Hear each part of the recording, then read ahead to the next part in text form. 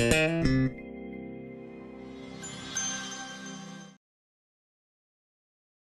Right into it.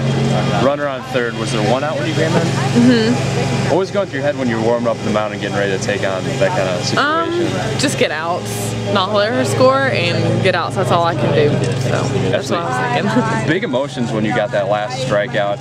Hannah spikes the ball. You got the animated fist pump. How Yeah. nice was that to happen this weekend where I don't want to say pitching was off, but a good hitting team Yeah, did what yeah. they do. But to have pitching close out when they needed it, how nice was that? Yeah, um, really nice. You know, you that's what you want to do when you come in is get out and just um, go after the strike zone. And thinking this this umpire was, you know, filling the pitcher strike zone, so I was very thankful for that. But um, yeah, that's all I was trying to do. I kind of asked a similar question to Raven.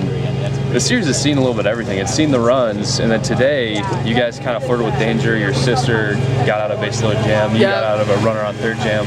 How nice was not only to have the pitching come in and do their job when they needed it, but then to get the run production. the Oh yeah, so it was so clutch, and especially to have our um, our top of the lineup up, bottom of the seventh. I was like, guys, just finish this right here. I know y'all can do it, and they did. So it was awesome.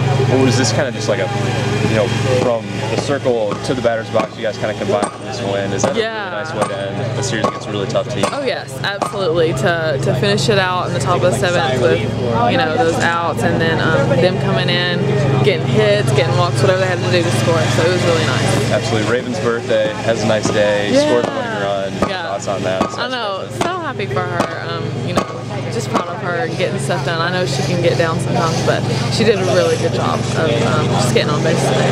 Absolutely.